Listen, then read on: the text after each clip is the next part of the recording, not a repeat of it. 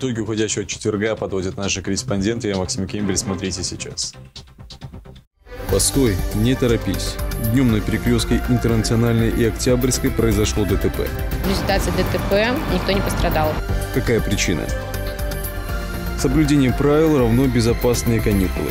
В Беларуси увеличилось количество детских травм. Запрещено баловство, запрещено нырять, прыгать, э, сплав средств. Но что еще стоит обратить внимание родителям?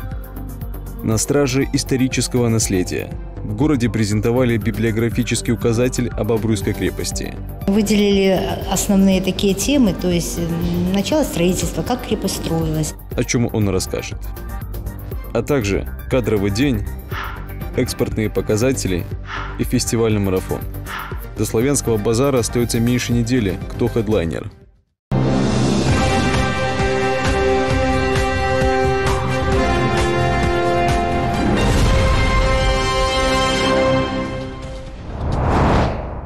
Новые назначения. Президент принял ряд кадровых решений.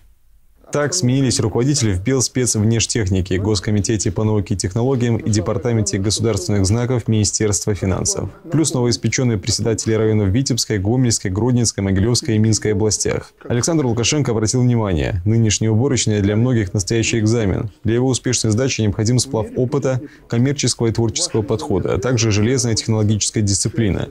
Тогда и продовольственная безопасность стране гарантирована. Еще одна острая тема – борьба с тунеядством. По отношению к безработным действуйте так, как вы примете решение на исполкоме районного совета. Они все должны быть заняты, ибо потом мы будем тратить огромные деньги для того, чтобы их заставить не просто работать, а в чувство привести. Правоохранительные органы будут тратить огромные деньги.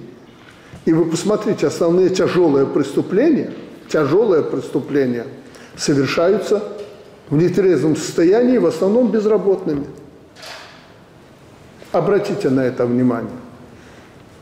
Создайте им рабочие места, если их нет, хотя я уверен, что сейчас рабочих мест достаточно в любом районе, и заставьте каждого работать. Сегодня же Александр Лукашенко провел встречу с председателем Палаты представителей Владимиром Андрейченко. Обсудили законодательную деятельность. К слову, в ходе прошедшей восьмой сессии депутаты рассмотрели 60 законопроектов. Это изменения в гражданские и уголовные кодексы, новая редакция Кодекса о и другие документы.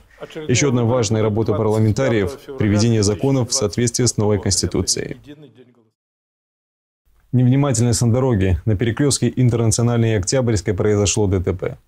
Его участниками стали «Фиат» и маршрутные такси. Ориентировочная авария случилась в 11.55. Первый при повороте налево не убедился в безопасности действия. «Мерседес» же двигался прямо и не успел избежать столкновения. Итог – итальянец врезался в столб, он отправится на кладбище машин, а микроавтобус отделался побитой фарой. В результате ДТП никто не пострадал. По факту ДТП проводится проверка. Госавтоинспекция напоминает, будьте внимательны на дорогах, выбирайте верную скорость движения и правильно оценивайте обстановку. Золотой успех – первый съезд «Экономические показатели». Беларусь экспортирует продукцию в 142 страны мира. Каково торговое сальдо республики?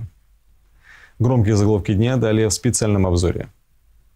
Экономическая реальность диктует производителям изменения условий работы. Сегодня многие предприятия работают над совершенствованием экспортной стратегии, выстраивают новые цепочки доставки продукции и открывают рынки сбыта. Так, сейчас белорусская продается в 142 странах мира. И несмотря на торговые препоны, за 4 месяца внешнеторговая сальдо страны составила более миллиарда долларов. В канун столетия адвокатуры в Минске состоялся первый съезд специалистов. Главные темы – определение новых направлений развития и усовершенствование работы. Сегодня эта структура – одна из наиболее авторитетных в стране. Она объединяет более 1800 человек. Оказание помощи, защита конституционных прав и свобод – основные принципы в их работе.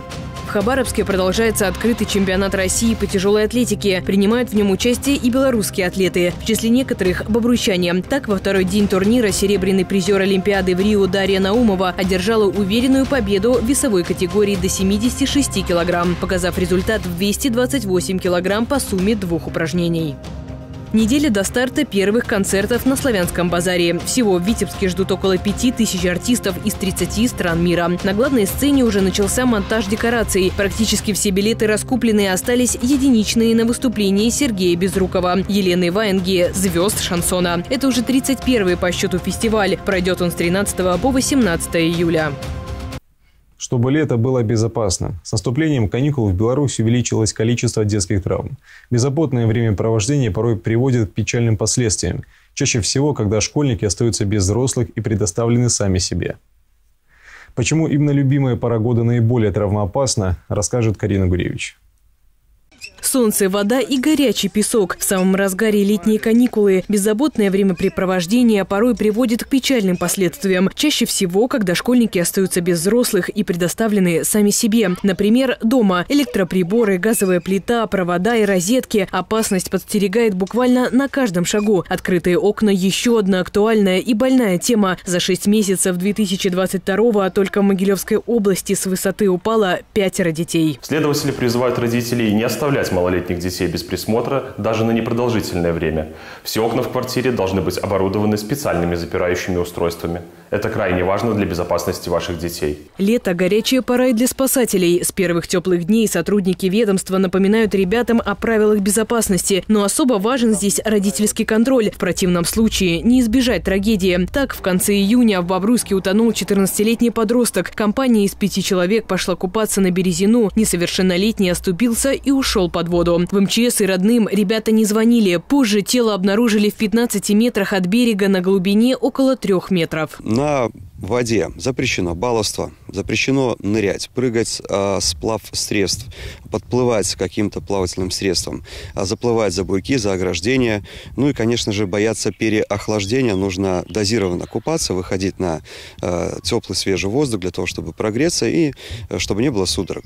Дорога – еще одно опасное место. За пять месяцев 2022 с участием детей произошло 116 ДТП, 119 ребят были травмированы, 6 погибли. Вина во многом на взрослых. Одни не досмотрели, другие были невнимательны за рулем. Большинство происшествий происходят во дворах и частном секторе. Стандартная ситуация. Ребенок выскочил из застоящей машины, а водитель просто не успел среагировать. При пересечении дороги маленького ребенка нужно крепко держать за руку, не за ладошку, а за запястье, чтобы ребенок не мог вырваться и самостоятельно пересечь проезжую часть. Чтобы лето было безопасным для вашего ребенка, расскажите ему эти простые правила. Необходимо носить головной убор в жару, не есть неизвестные ягоды и плоды, которые растут в лесах и парках, и ни при каких обстоятельствах не брать что-либо у незнакомых людей. Карина Гуревич, Станислав Чечерин, Дмитрий Шевцов, Бобруйск, 360.